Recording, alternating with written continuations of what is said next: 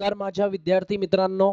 मी engineer Sachin पुन्हा एकदा तुमचे स्वागत करतो आपल्या इलेक्ट्रिकल नॉलेज या चॅनलवरती तर बघा माझ्या विद्यार्थी मित्रांनो आजची न्यूज तुमच्यासाठी घेऊन आलेलो आणि ती म्हणजे कुठून? तर इंडियन रेल्वेमधून तर Indian railway railway recruitment board group D recruitment दोन हजार चोवीस. तर R R C group D railway recruitment centre group D जी भरती आहे दोन हजार चोवीस त्यासाठी तुम्हाला एक नो नोटिफिकेशन आता लवकरच पाहायला मिळणार आहे आणि ती म्हणजेच कोणतं? रेल्वे ग्रुप डी भरती दोन हजार चोवीस. तर ग्रुप डीमध्ये दहावी सोबतच आता आय आयटीआयला सुद्धा महत्वाची संधी मिळणार आहे. तर नेमकं कुठल्या कुठल्या ट्रेडला संधी असते? कुठले कुठले ट्रेड इलिजिबल असतात? आणि दहावीला किती पोस्ट असतात? तर आयटीआयला किती पोस्ट असतात? तर विद्यार्थी मित्रांनो याच्या आधी काय होत होतं?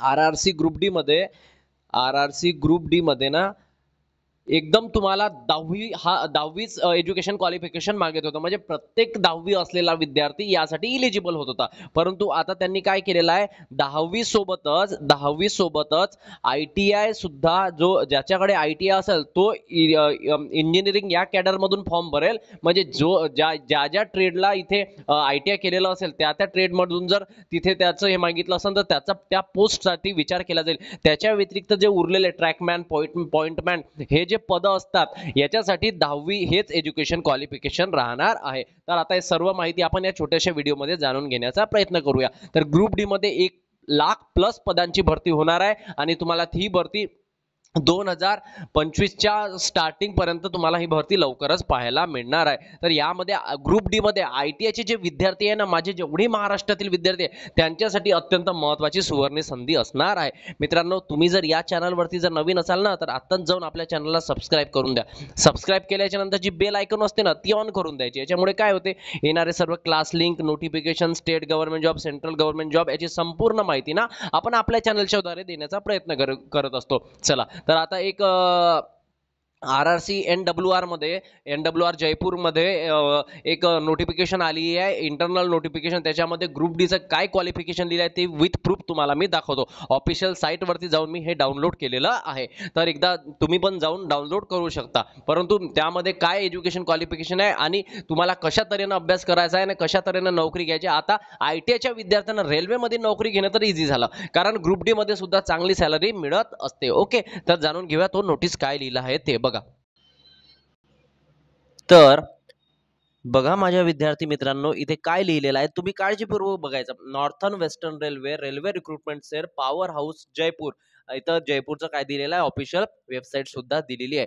इथं लिहिलं आहे notification for recruitment against scouts and guide quota on north western railway for the year दोन हजार चोवीस पंचवीस ओके चला. तर इथं लिहिलेलं आहे जी रिक्रुटमेंट आलेली आहे कशासाठी आलेली आहे? लेवल वन आणि लेवल टूच्या पोस्टसाठी मग लेवल वन आणि लेवल टू काय आहे? डेट सुद्धा दिलेली आहे अठ्ठावीस सहा पासून अप्लाय करायचं आहे नऊ सात दोन हजार चोवीस लास्ट डेट आहे. ओके चला बघा. इथे सगळं त्यांनी दिलेलं आहे. आता मी तुमचं लक्ष केंद्रित करण्याचा प्रयत्न करतो या पोस्टसाठी कोणत्या? तर ही लेवल वनची पोस्ट आहे आणि हे सॉरी हे लेवल वनची पोस्ट आहे आणि ही लेवल टूची पोस्ट आहे. तर यामध्ये जी असते erstwhile group D technical non technical level वनची पोस्ट आहे विद्यार्थी मित्रांनो. Seven C P C pay salary मिळतील. पाच हजार दोनशे ग्रेड पे आहे तर वीस हजार दोनशेच्या आणि अठराशे रुपये काय असणार आहे तुमचं?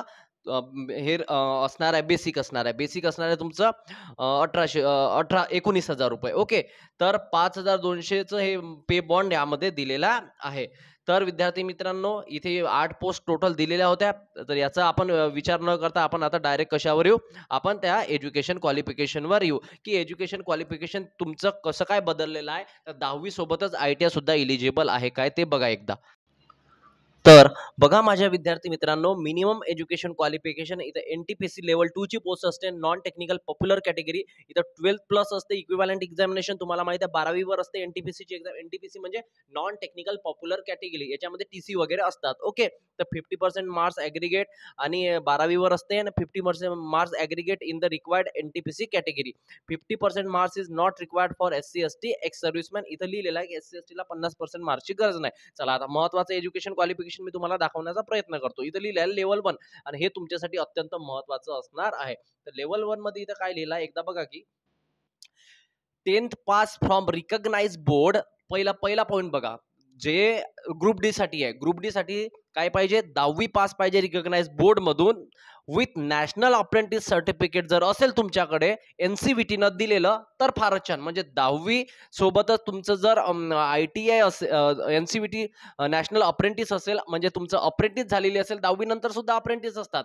तर तिथं जर अप्रेंटिस झालं असेल तर तुम्ही यामध्ये इलिजिबल आहेत. दुसरा ऑर लिहिलाय बघा or ten pass from a recognise board with I T I for appointment in.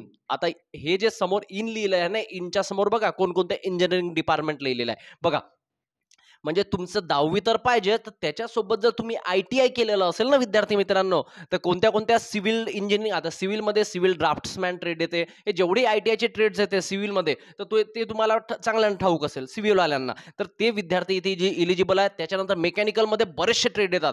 Fitter machinist त्याच्यानंतर वेल्डर एवढे सारे ट्रेड आणखी याच्या व्यतिरिक्त बरेचसे ट्रेड येत असतात मेकॅनिकलमध्ये तर मेकॅनिकलमध्ये एवढे ट्रेड येत असतात एवढे विद्यार्थी इथे इलिजिबल असणार आहे. आणि त्यानंतर इलेक्ट्रिकल इलेक्ट्रिकलमध्ये इलेक्ट्रिकल इलेक्ट्रॉनिक्स आणि अं, याच्या व्यतिरिक्त इलेक्ट्रिकल अँड इलेक्ट्रॉनिक्स त्याच्या व्यतिरिक्त बरेचसे ट्रेड वायरमन ट्रेड येते पुन्हा इलेक्ट्रिकलमध्ये तर हे हे जे ट्रेडचे विद्यार्थी हे ट्रेडचे विद्यार्थी ग्रुप डी मध्ये इलिजिबल असणार म्हणजे एक लाख पदाची भरती न तिथे आय टी मागितलं असेल. त्याच्यानंतर S N T S S signal and टेलिकम्युनिकेशनमध्ये इलेक्ट्रॉनिक्सचे विद्यार्थी इलिजिबल असतात. ज्यांचं इलेक्ट्रॉनिक्समधून आय टी आय झालेलं आहे ते विद्यार्थी. अँड कॅटरिंग डिपार्टमेंट एवढ्या डिपार्टमेंटमधून जर तुमचं आय टी आय झालेलं असेल ना विद्यार्थी मित्रांनो तर तुम्ही most of the eighty five percent पोस्टसाठी eighty five percent पोस्टसाठी ten plus I T I मागितलेलं असते. म्हणजे शंभर पोस्ट जर असेल तर फॉर एक्झाम्पल एक लाख जागा आहे तर पंच्याऐंशी हजार जागा ह्या दहावी प्लस आय टी आयवाल्यांसाठी असणार आहे. तर आता हे क्लिअर कशावरून? आता बघा इथं लिहिलेलं आहे दुसरा पॉईंट बघा. दुसरा पॉईंटमध्ये लिहिलं आहे ten pass or I T I or equivalent from recognise board for appointment in other department इथं लिहिलं आहे एक तर दहावी पास असेल तरी चालते किंवा आय टी आय असेल तरी चालते. म्हणजे जो दहावीवाला विद्यार्थी आहे म्हणजे इथं लिहिले आहे for appointment in other department हे इंजिनिअरिंगचे डिपार्टमेंट जर सोडले तर बाकीचे असतात पॉइंटमॅन ट्रॅकमॅन ते जे बाकीच्या ज्या पोस्ट असतात त्या पोस्टवर दहावी पास असला तरी चालते. आय टी असला तर फारच छान. म्हणजे आय टी वाले विद्यार्थी पूर्ण पोस्टसाठी इलिजिबल असतील परंतु दहावीवाले जे विद्यार्थी आहे ना ते फक्त पॉइंटमॅन ट्रॅकमॅन अदर ज्या इथं लिहिलं आहे appointment in other department other department म्हणजे इंजिनिअरिंगचे डिपार्टमेंट सोडले म्हणजे आय टी आयचे जे डिपार्टमेंट सोडले तर दहावीवाला विद्यार्थी फक्त त्यासाठीच इलिजिबल असणार आहे. ओके तर ही महत्वाची माहिती मी तुमच्यासमोर आणण्याचा प्रयत्न केला आहे तर आय टी आयवाले आता कमर कसून घ्या एकदम. आता नाही तर कधीच नाही. स्टे स्टेट गव्हर्नमेंटकडे लक्ष द्या.